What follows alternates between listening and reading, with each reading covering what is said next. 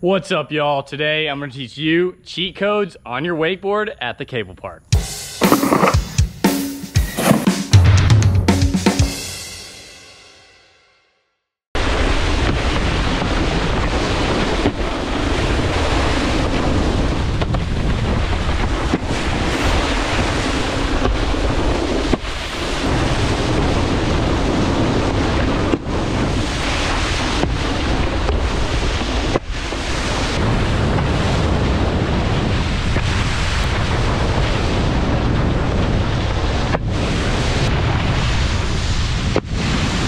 I wouldn't really necessarily call this 100% a cheat code because it's not actually cheating. It's more of a hack. And I kind of figured that some of you guys that are more newer to cable wakeboarding wouldn't really know about. Handle passing early is the hack I'm talking about. And no, I don't mean pre-spinning. I mean actually passing the handle early while you're on a feature and then actually spinning off of the end of it. I definitely think this is a great way to work smarter and not harder. And it's also really nice whenever you are first learning to spin or something like that because handle passing is much easier and it requires a lot less tension than actually doing it in the air. So I think it's pretty helpful for whenever you're first starting to ride cable. I also think when you're first attempting to do this, it's easier whenever you're approaching an obstacle on your toes just because the back of your body is facing the cable and it will be a lot less likely for the rope to unwind you early while you're still on the obstacle.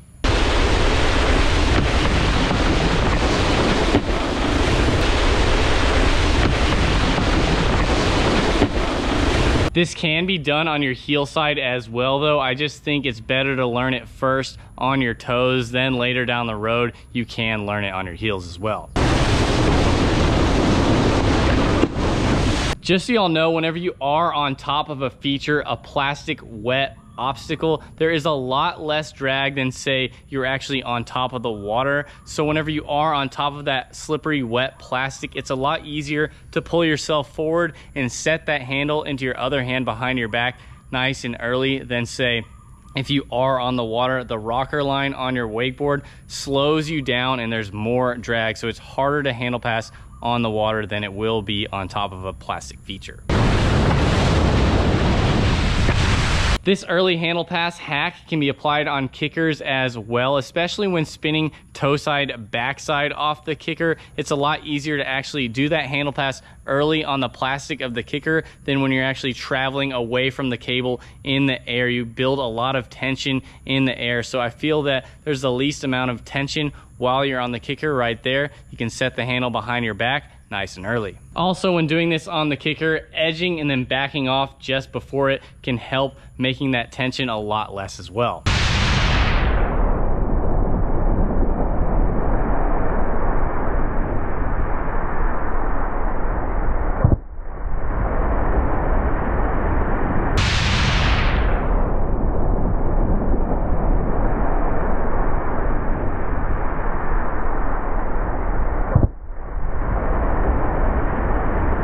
This hack isn't for beginners only. It could actually be applied to some more advanced tricks as well. It could be applied whenever you're changing up on a rail and in the middle of a change up, you could handle pass early so you're ready for the next part of the feature, or you could handle pass early and spin from one part of the feature to the next.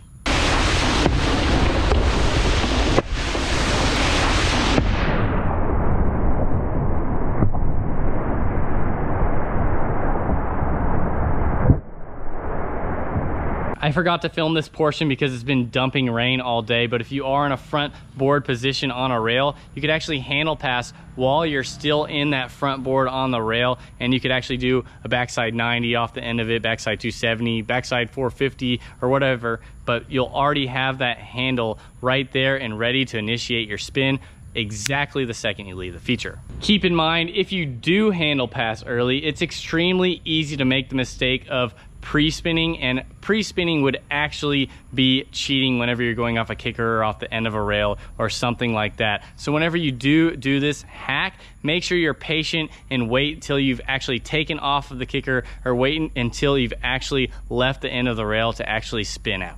I don't know if this video is actually a tutorial or if it's just me making you guys aware of this hack, but either way, if you are struggling with spinning off of features or even off of the kicker, this could be extremely helpful to you. So try it out and uh, see if it works for you. Anyways, if you guys like this video, make sure you give me a thumbs up, comment below what kind of videos you guys want to see in the future or what kind of tricks you guys want to learn next. And remember, I'll be putting a wakeboarding video every second day forever, so make sure you guys subscribe. I'll see y'all next time. Peace.